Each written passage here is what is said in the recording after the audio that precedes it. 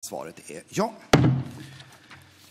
Så kommer vi till utrikesutskottets betänkande 19. Förbättrade rättsliga förutsättningar för att kunna ta emot militärt stöd från andra stater. Kammaren tar ställning till utskottets förslag punktvis. Punkt 1. Ändring i lagen om operativt militärt stöd mellan Sverige och Finland. Beslutet under punkt 1 avser överlåtelse av myndighetsutövning till annan stat.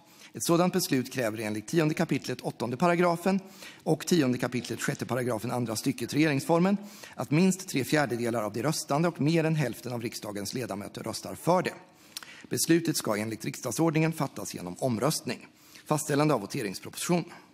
Rösta ja för bifall till utrikesutskottets förslag till beslut i betänkande 19.1. Rösta nej för avslag på utskottets förslag.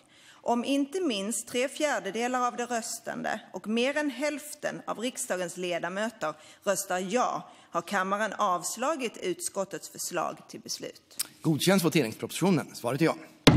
Klart för röstning. Ja för bifall till utskottets förslag till beslut och nej för avslag på utskottets förslag till beslut. Är voteringen avslutad? Svaret är ja. Eh, 299 ja, eh, 0 nej, en avstår. Eh, eftersom minst tre fjärdedelar av de röstande och mer än hälften av riksdagens ledamöter röstat ja har kammaren bifallit utskottets förslag till beslut. Punkt 2. Lagförslaget i övrigt. Här har endast yrkats bifall till utskottets förslag till beslut. Bifalls detta? Svaret är